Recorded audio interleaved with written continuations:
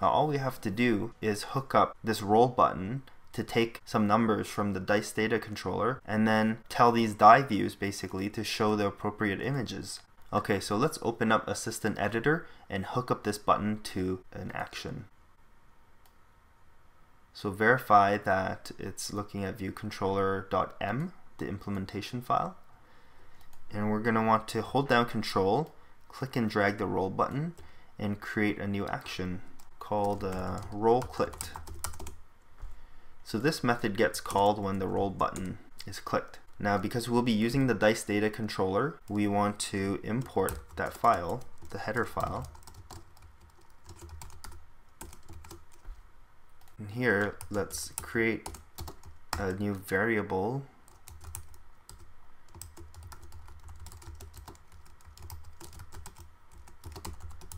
which is a new instance of dice data controller.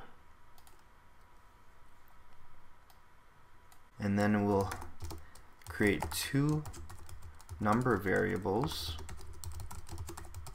to hold the two random numbers and we will call the method that we created on the dice data controller.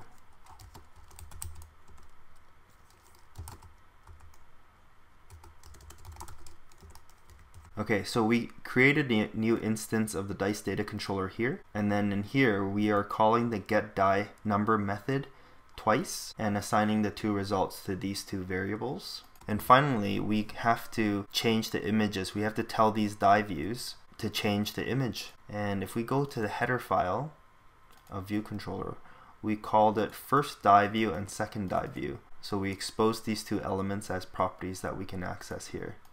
So we're going to go self first die view and show die number. That's the method that we just created in die view. And I'm going to pass in first number.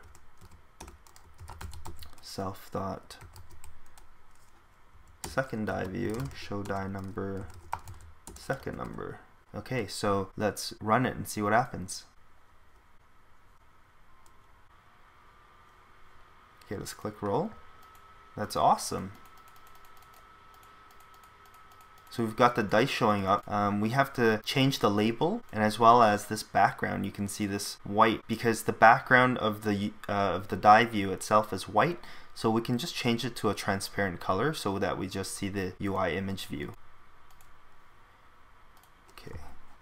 So if you look at the header file, you uh, you'll remember that we exposed the label as some label. So let's go to this self.sum label and we'll change the text property and once again we'll use the string with format class method. So ns string string with format and we'll want to say something like the sum is and we'll have a wildcard and what to put in that wildcard? Well first number plus second number and this will be the sum. And the next thing we need to do is make these transparent. So you can either do it through um, Interface Builder. Let me get back to single view.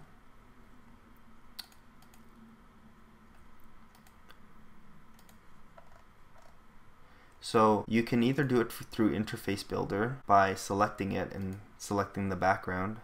It's not the color, selecting the background to nothing or another way you could do it, I'll show you. I'll show you. The, I'll show you the, the other way since this way is pretty straightforward.